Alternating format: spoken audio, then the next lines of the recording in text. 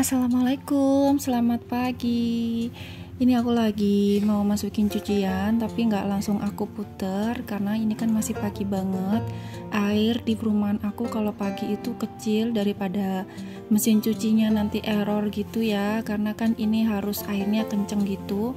Jadi aku siapin aja nanti siang tinggal aku puter.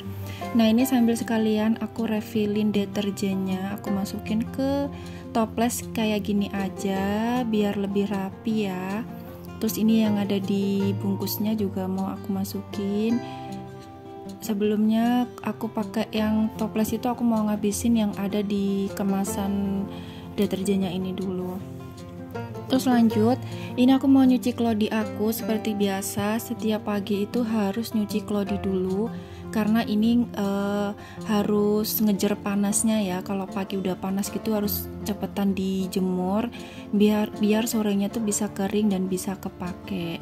Jadi kalau tiap pagi itu bener-bener diutamain pekerjaan yang harus selesai dulu dan hari ini aku nggak masak karena suami aku alhamdulillah dia tiba-tiba beli di luar gitu. Ya udah akhirnya aku libur masak aja. Nah ini ya ini alhamdulillah udah panas gitu. Biasanya beberapa hari ini tuh mendung makanya ini aku gercep banget buat nyuci klodinya terus ini aku uh, mau ambilin jemuran semuanya. Karena ini udah kering. Terus ini juga ya dirubuhi sama anak aku ini juga aku ambil klodi-klodi yang kemarin dijemur semuanya.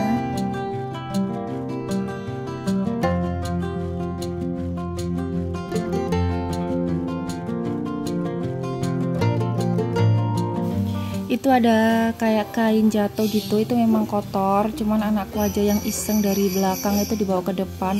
Aduh pokoknya kalau ada bayi ini harus sabar ekstra ya karena apa pun yang kita kerjain itu selalu aja diberantakin. Ya udahlah nggak apa-apa karena ini kan nggak lama dia seperti ini. Nanti bakalan nggak kerasa tiba-tiba udah gede aja. Nah ini jemurannya langsung aku pindah ini ya.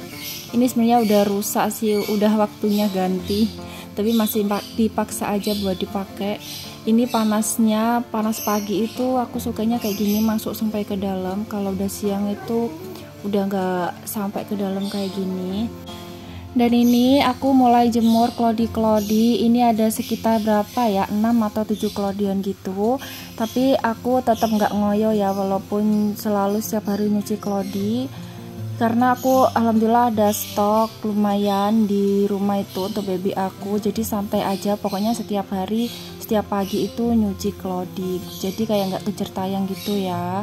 Kalaupun nggak kering itu juga ada yang klodi buat yang malamnya. Kalau yang untuk malam itu kan daya serapnya lebih dari 12 jam bisa dipakai lama.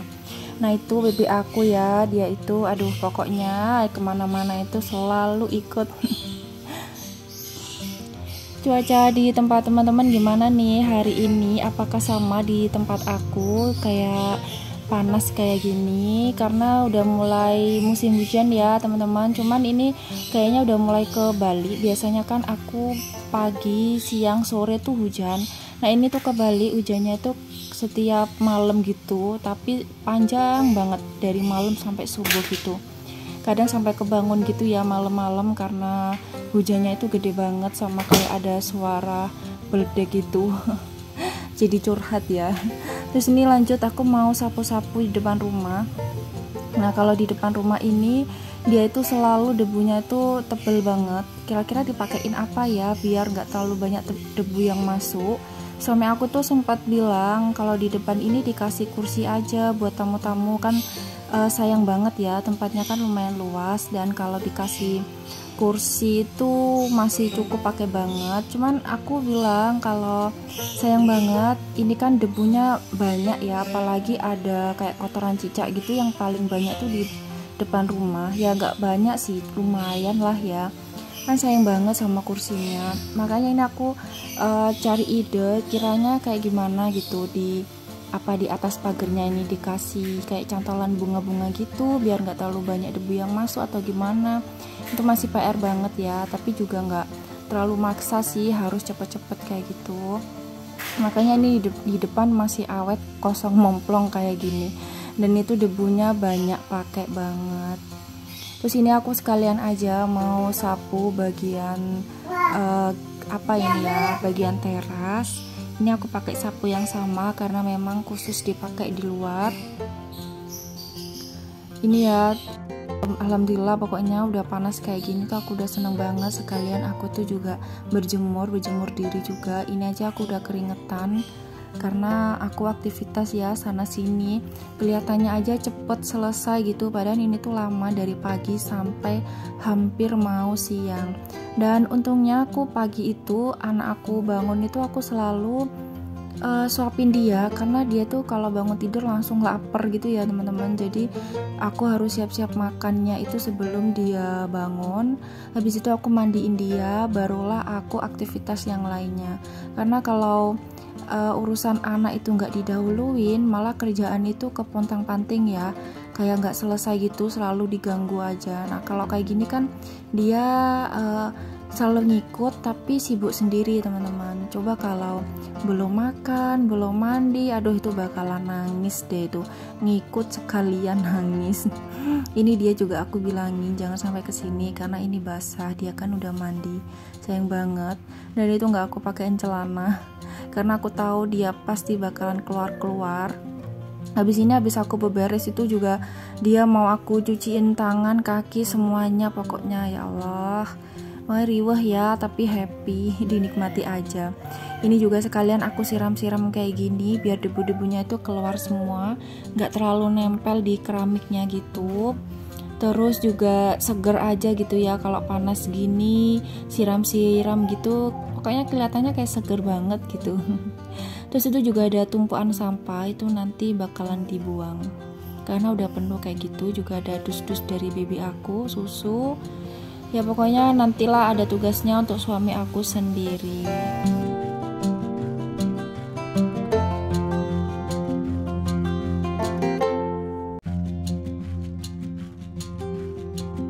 Dan ini ya anak aku aku gendong sebelum dia semakin basah ini juga ada toples sama sepatunya ya Allah diberantakin lagi. Terus ini tadi aku udah cuci tangan cuci kaki. Ini ini lanjut ya aku beresin. Nah yang aku bilang tadi aku udah udah suapin baby aku. Ini suami aku yang belanja. Ini sayur sop segini tuh harganya 10.000 mungkin karena ada sosis sama bakso gitu ya. Terus juga ada ini apa ya tahu sama kecek gitu harganya 6000 terus ini isinya sebenarnya 8 sudah kemakan 4 aku sama baby aku nggak tahu harganya berapa. Itu ada cireng aku bikin ya Allah. Asin banget. Kesalahan bikin. Dan biasanya aku kalau bikin enak gitu deh. Ya ngelem diri sendiri ya. Nah ini ayam kecapnya ini biasanya cukup sampai nanti siang. Kalau semisal habis mungkin nanti malam nggak tahu ya menunya apa. Karena di rumah kan juga ada telur jadi simple aja kalau pengen nggak ribet ya beli telur. Kalau semisal memang pengen lainnya ya tinggal beli lauk yang lainnya. Karena kan kalau malam itu pilihannya banyak ya teman-teman bisa beli sate bisa beli capcay. Nah, ini kenapa aku jarang masak? Karena harga sembako ini udah mulai naik aku udah mau beli ke pasar lagi. Eh naik lagi teman-teman. Pokoknya aku sekarang santai aja udah lebih baik uh, beli. Karena kan harga minyak juga masih mahal kan. Jadi hitung-hitungannya itu masih pak pok gitu ya. Kayak nggak lebih hemat masak jatuhnya. Terus ini aku juga bersihin obat. Aku kemarin habis cabut gigi itu obat sakit gigi aku terus ini aku lanjut ini aku mau cuci piring. Ini nggak terlalu banyak alhamdulillah. Kebanyakan ini sisanya dari aku kemarin sih aku bikin cireng itu siang-siang. Terus malamnya nggak sempet cuci piring akhirnya paginya ini aku cuci piring. Terus itu juga ada kopi. Kemarin ada teman-teman suami aku ke rumah. Jadi sekalian kayak dibikinin kopi gitu Nah ini ya kalau tiap pagi itu kerannya selalu kecil kayak gini. Makanya aduh harus bener-bener sabar deh. Tadi itu aja aku bantuin pakai air dari kamar mandi buat ngebersihin lainnya ini ya. Terus ini lanjut habis ini aku sekalian aja uh, mau beres-beres yang lainnya ya teman-teman. Selesai aku cuci piring karena pekerjaan aku hari ini lumayan banyak belum yang untuk lipat baju mungkin lipat baju agak sorean aja ya. Dibikin santai aja yang penting pokoknya urusan baby terus urusan makan terus jemur klodi itu udah selesai itu udah lega banget. Dan selanjut ini aku mau bilas semuanya. Nah ini ya cucian aku nggak terlalu banyak.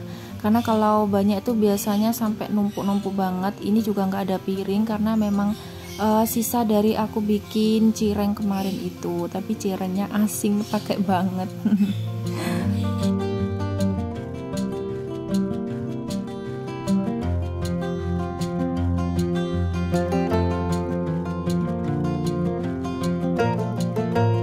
Dan ini lanjut aku ngerefilin uh, telur. Kemarin suami aku mungkin belinya telur satu kilo setengah ya karena banyak banget. Padahal kemarin itu udah aku pakai sekitar 5 bijian gitu tapi ini masih sisa banyak.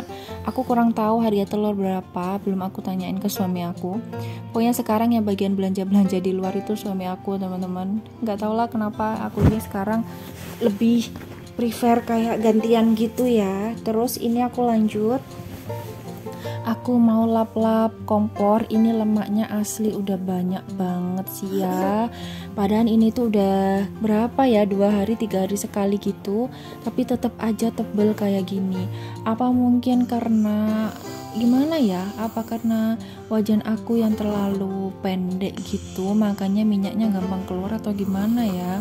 Gak tau lah ya. Pokoknya harus bener-bener rajin dan diseringin buat lap-lap biar kompornya itu awet ya.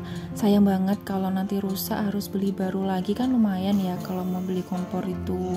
Dan ini kompor aku usianya itu semenjak aku nikah sama suami aku. Jadi sekitar mau 4 tahunan gitu ya. Dan masih alhamdulillah masih awet. Ini tuh produk dari Indonesia dari jadi karya anak Indonesia. Dan ini awet ya teman-teman. Awet banget. Itu kacanya tuh aku kayak tempered glass gitu jadi anti gores. Pokoknya bagus lah ya ini. Aku lupa sih harganya berapa tapi aku suka sama kompornya.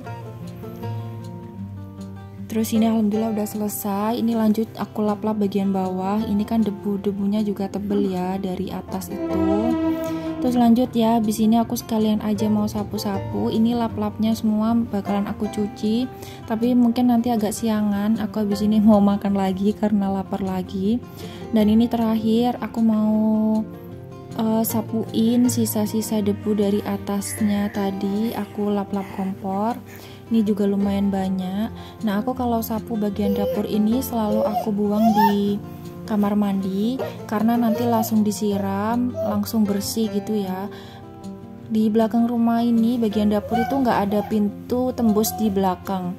Jadi ya udah pintunya cuman di depan gitu aja. Terus ini lanjut aku mau uh, beresin debu-debunya tadi. Nah ini dia kegiatan aku hari ini. Makasih ya teman-teman udah nontonin. Assalamualaikum